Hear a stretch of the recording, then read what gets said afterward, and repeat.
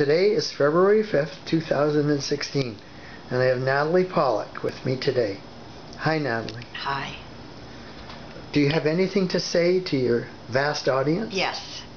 In, uh, uh, let's see, this is March, April, May. Oh, it's not February. I mean, it's March 5th, Yes, 2016. yes. I'm announcing that in three or four months, I'm going to be 70. That scares me sick. What can I do about it? Nothing. So I hope people out there will accept me as a old person. 70. Oh, how did I get here?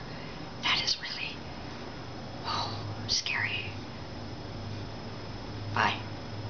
Bye.